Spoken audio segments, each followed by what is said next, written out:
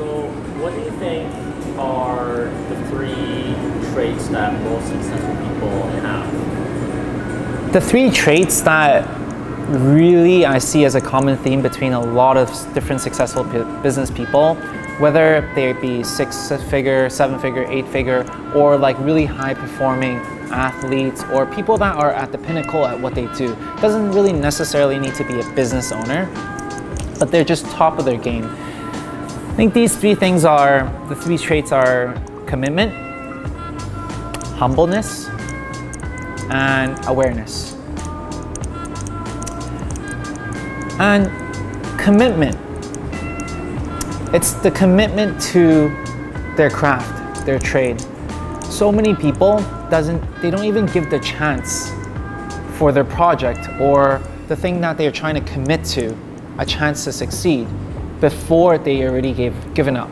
They think that you know what they did something for a week and they give up because it's like oh this is too difficult um, and this doesn't work. So many people buy all these like working out programs like P90X and stuff like that. They're like oh this doesn't work now I'm gonna buy Insanity because it's a better program. But at the end of the day, it's not really about the program. It's about the commitment of whether you have what it takes to, to see something through. Honestly, you don't even need any of these programs in order for you to have a beautiful physique and healthy physique, right? You don't need that. You can just freaking do 500 setups every single day and guaranteed you're gonna have abs, correct? Right, so I think really commitment to really see things through and commitment to your own craft. Um, there's always been a saying that, you know, you need to work 10,000 hours in a specific trade or a specific thing for, for you to become a master at it, right? And not a lot of people have the commitment in their trade, uh, whether it be business development. You know, for me, I've been dealing with business for the last 10 years. Yeah, I've failed in multiple businesses. I'm talking about over 50 different businesses before I had my three that's successful like you guys see. Um, and at the end of the day, if I've given up in the first five, I don't even call them my businesses, I call them my projects that I work on. Um, and if I've given up in the first five or first 10, then you would never see what you see today and I wouldn't be here speaking to you today, right? So I think really commitment to your craft and your trade is the number one thing that would be um, the number one trade. Now, how do you have commitment, right? How do you develop commitment? it is having the discipline to do so, right? Developing discipline is key for you to have commitment. And a lot of times, a lot of people don't have the commitment because they lack the discipline to work through their feelings. And what I mean by that is, today I don't feel like working out because it's raining outside, or it's cold, or it's hot, or uh, oh, I ate something, or I'm gonna go party, so on and so forth. Yeah, that's why I'm not gonna go work out, right? but it is going through doing these things over and over again, regardless of whether you feel like it regardless of whether there are results or not. It's just that simple, right? Um, so that's number one, commitment. How do you stay committed is by having discipline. It's the same thing, right? Discipline is sometimes, so when you're a little kid, you don't feel like going to school. You still need to wake up at eight and you still need to go to school. That's discipline. It's so crazy nowadays. Like it's funny that you mentioned that because nowadays, as we grow older, we lack the discipline to do anything that we want to achieve in life. And what I mean by that is when we're kids, we're forced to wake up at 8 every single day, get changed, go to school, and that's our that's what we need to do. And as we grow older, we never we don't have these things to to set us and to give us good discipline to really commit to something. And that's the reason why so many people out there are failing with their businesses because they fail to co commit. They fail to have the discipline to work through the, the hurdles. Whether it be, hey, you know what, you ran a Facebook ad, it didn't work out. Okay, you know what, Facebook ad doesn't work. Let's jump to influencer marketing. And you pay for two influencers. They did a post for you and you don't have the sales that you're looking for. Oh, you know what, influencer marketing doesn't work you don't really stay through and go through the hurdle of figure out why it doesn't work and have the discipline to be like, hey, you know what, I'm gonna work with 100 influencers by the end of the year. Set that goal out and have the discipline to see it through and be committed. That's the number one trait that I see a lot of successful people um, have to achieve the level of success that they have in their own industry. Mm-hmm. The second most important trait that I see people who are successful, whether it be the businesses or an athlete or you know anyone that's top of the trade, is humbleness. Um, two years ago, I won the top 30 under 30. Out of all the awards that I've won previously, this is by far the most prestigious one. And I think it has also been the most detrimental award that I've ever won. And what I mean by that is because after winning that award, um, I became, I didn't become someone, but I thought I knew a lot more than other people. I thought that I was in a position that people can't touch me. I thought that I was, damn Wilson, now you've made it. You're here now. And that mindset quickly became very dangerous for me because I, ha- I was having these internal dialogues of saying that, you know what, you know your stuff. It's okay, you can go out there and you can dominate the world. And I stopped reading. I stopped having the attitude of, of wanting to learn. Because I feel like, hey, you know what, I'm in a position to teach now. And after a month of that feeling, it became very uneasy to me. It became very unnatural. I felt like, do I really know everything? And when I was talking to other people who are more successful than me, I realized that, oh damn, I'm just being arrogant. It is because of the fact that I thought I won an award and that defined who I was as giving me value, as telling me that, hey, you know what, you're better than everyone else because you're top 30 under 30. But after meeting people who are much further than me in their careers, in their trajectory, that made me realize that, oh no, Wilson, that is not true. You, there are a lot of people who are much more successful than you are, whether it be mindset, whether it be financially, whether it be in their careers.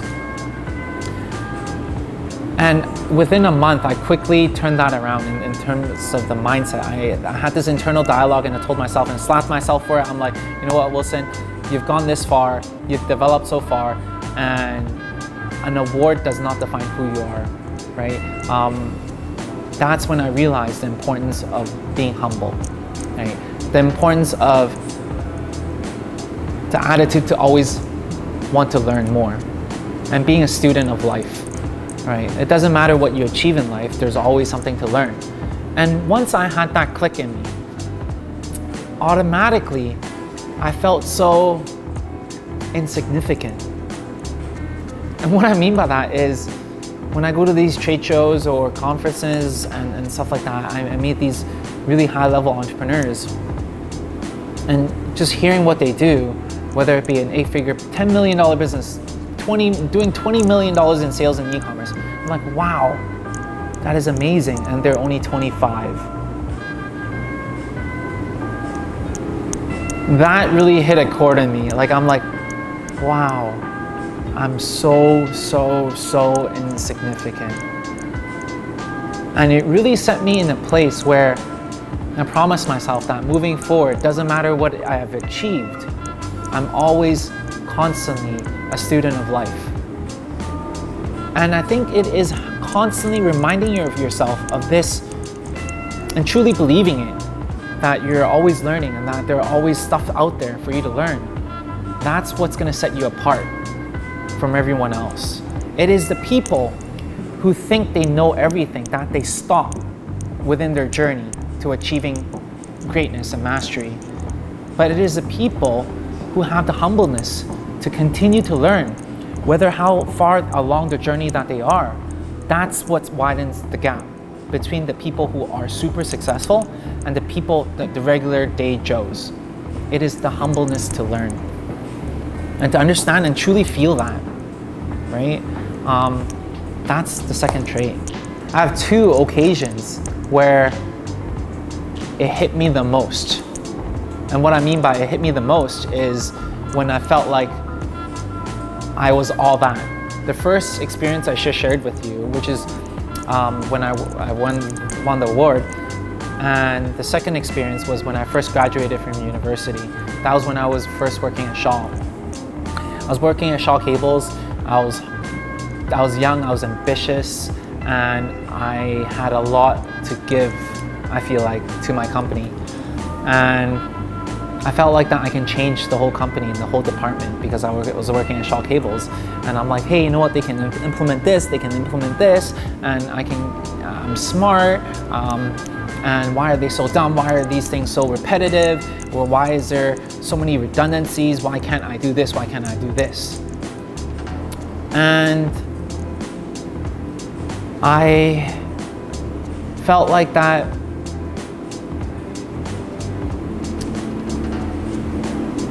it just sucked.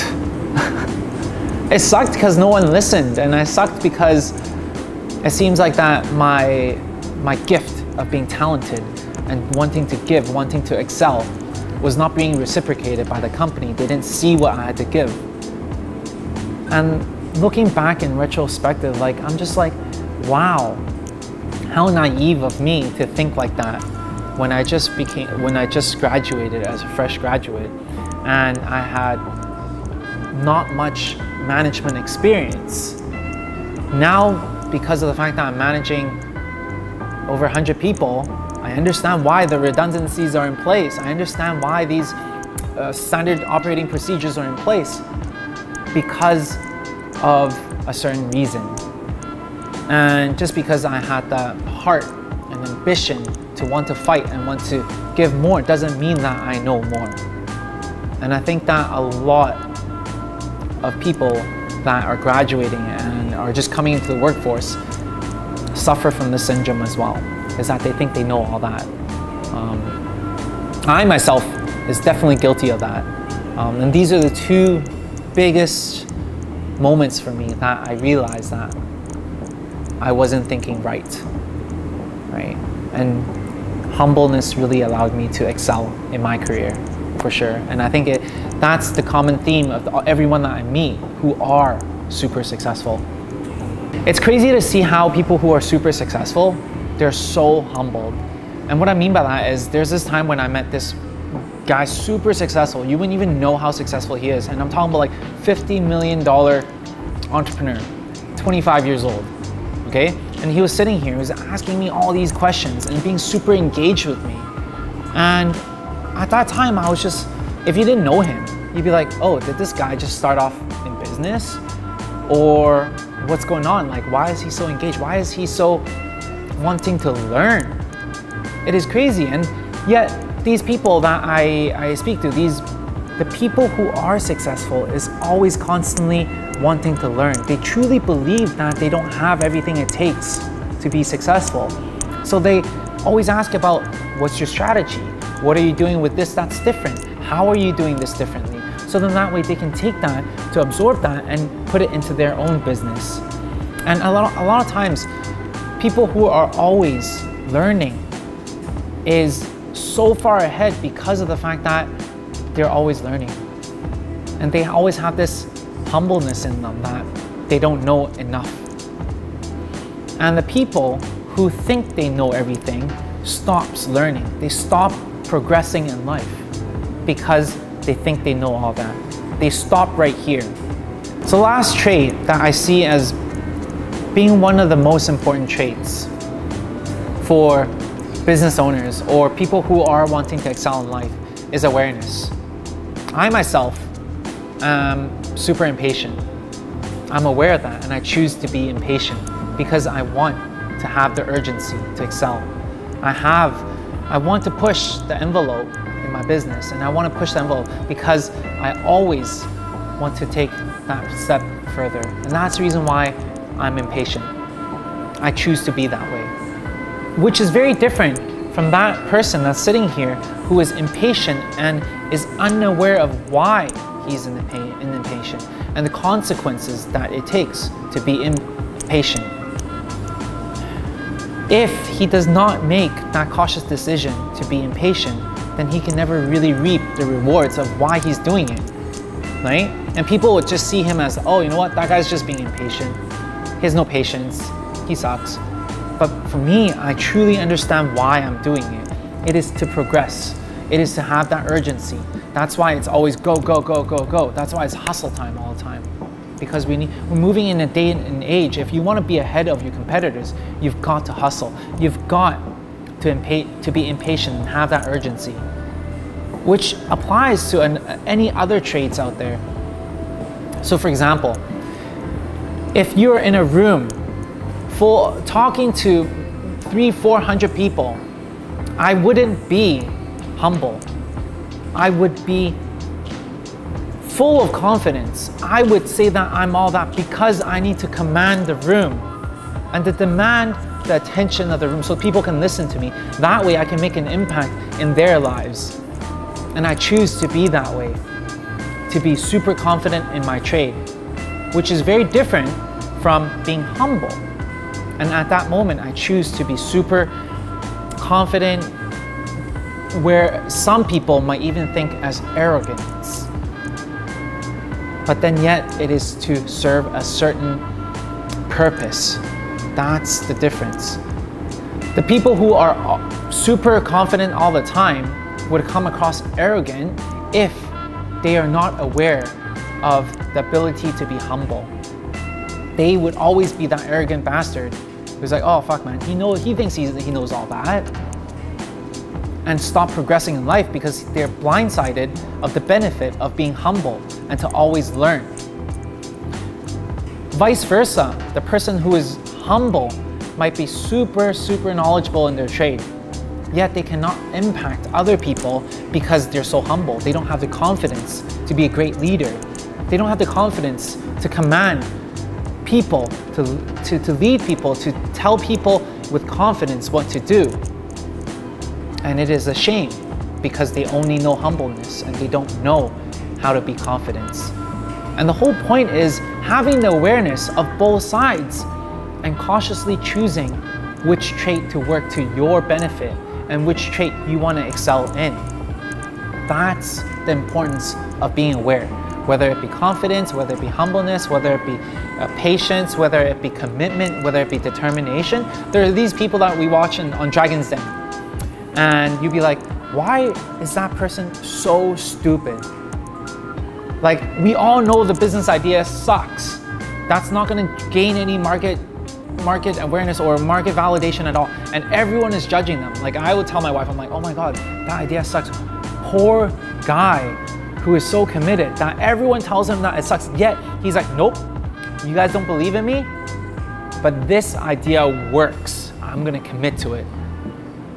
He's super, super dedicated and committed, but he's not aware of the surrounding. He's not aware to be, uh, to, to, to take on the, the, the other side of the situation, the other side of the spectrum, and to have that perspective of, hey, after the fact that you tested it on the market and there's no validation, then you should pivot. It is not blindly being committed to one thing that makes you successful. It is having the awareness and understanding when to pivot. And that trait of awareness is so important when it comes to being an entrepreneur or people who are wanting to be a master of their craft. Now you may be asking like, hey, how do I become aware? And the answer is to meditate. As cliche as it sounds, so many high performers, Warren Buffett, Steve Jobs, all these crazy guys are always meditating. They set blocks of time to think because of the fact that they understand how important it is to be aware. So many times, like we're always bombarded with all these noise. We wake up, we go to work, we go to happy hour, we head home, we, we lay on the couch, we watch TV, we turn on our phone, and we scroll Instagram, boom, boom, boom, and we have dinner, and then we head to bed. And constantly we are bombarding ourselves with noise, noise, noise, distraction, distraction, distractions. And yet we're not being aware of the fact that are we doing things intentfully to move forward in life, we're numbed by everything that goes on around us, by what the world feeds us and what we feed ourselves. And we lose the ability to make choices. We lose the ability to be aware of what am I doing and self-auditing and what I'm doing today, moving me closer to my goal every single day. And when you're not aware of these things, and if you don't have that awareness, then you don't have the ability to choose. And that's the reason why meditation would allow you to have the internal dialogues, to understand and see past the noise in the world every single day, to understand things are always changing. That these internal dialogues would allow you to be a lot more aware with your everyday life. If you want to be super successful and at the pinnacle and be the master of your trade, awareness is definitely the number one trait. So, commitment, having the discipline to commit to something and see things through, and being humble, always learning, being a thirst, having, having that, being a student of life, and having the awareness to make decisions every single day that moves you closer to your goal is what I see as a common pattern of people who are super successful in their trades.